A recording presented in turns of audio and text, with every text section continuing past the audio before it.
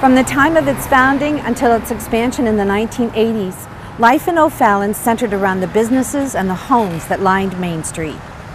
When we were in Bill and Mabel's Cafe, they had a fireman's dance one Saturday night. People would go to the dance and then they'd come over to the cafe for refreshments and so forth.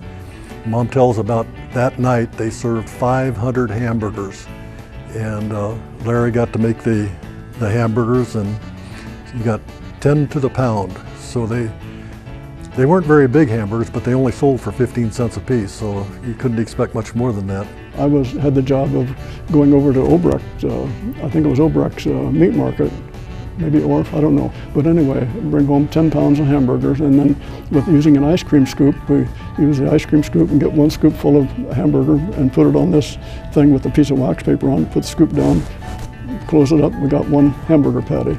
And so we got 10, 10 patties per pound, and uh, we did that. And then of course we had uh, an evening meal that mom usually fixed, and that was not only for us as a family, but she knew about how many people would be coming in wanting to have that particular plate lunch. You couldn't come in and order off the menu whatever you wanted.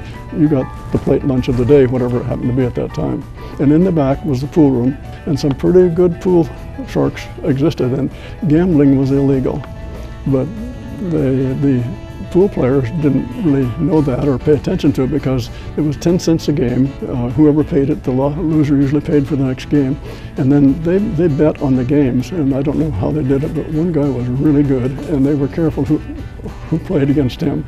And uh, that was a, a, time when I was able to do my homework when I was going to high school in between games, and with only three tables, so it didn't take me long to do that. But it was a, a really a good time for my life.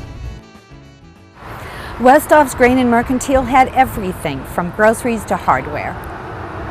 But Christmas at Westhoff's was really special because back then in O'Fallon you didn't find toys during the year. And um, so the only time toys came out was at Christmas time.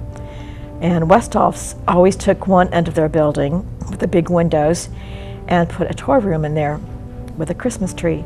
So we'd always ask mom if we could please go down to Westhoff's to look in the toy room and make our wish list. So we'd go down there, and Mr. and Mrs. Westhoff were always there, and we'd say, Could we go in the toy room, please? And they would say, Sure, just be good. So we'd walk into the toy room, and it was so magical because they had tables set up around the perimeter of the, the room with a Christmas tree with bubble lights on it, and uh, you could look at all the toys that were out for that year.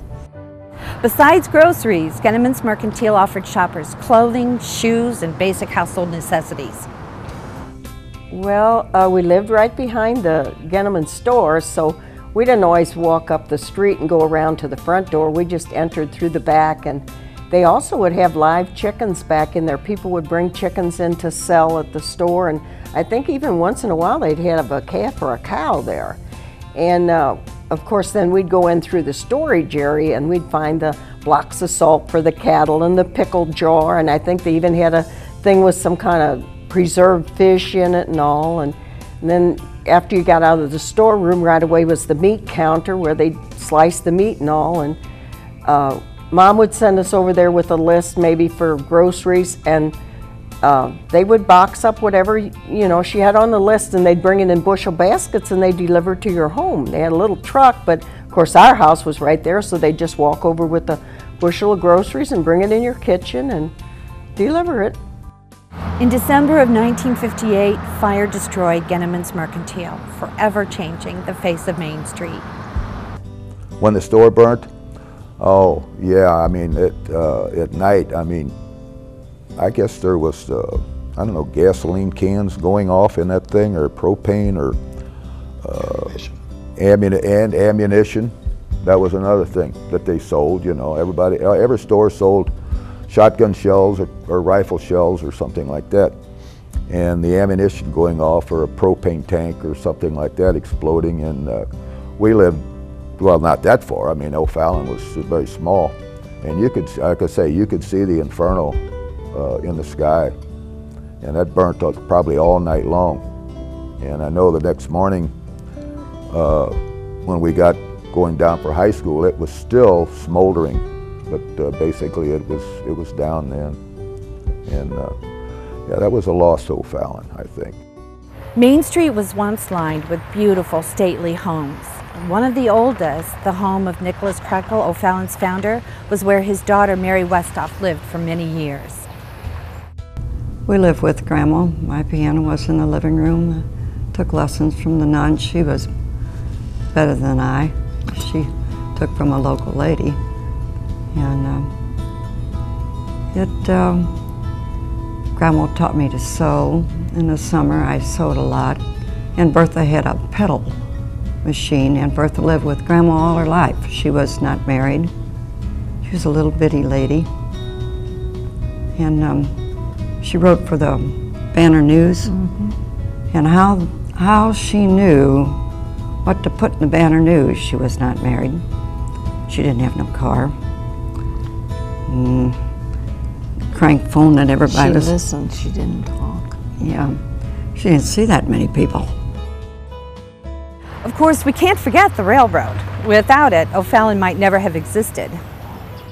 When the trains would come through, that black smoke would just cover Grandma's house. Mm-hmm. And if we were out in the yard, it was just black Sight. smoke all over everything. You didn't dare hang the clothes. in. Mom knew when to hang clothes, Grandma's clothes out. So did I. But there was a five o'clock one that would come, and this is a little incline coming up from St. Peters now on the railroad. And steam engine had to get up steam to come up there. And it'd start out chug, chug, chug, chug, chug, chug, chug, chug, chug. And boy, you'd know it was five o'clock, time to get up. In the years to come, O'Fallon would spread out in every direction. But for those who remember the small town, virtually everything happened right here along Main Street.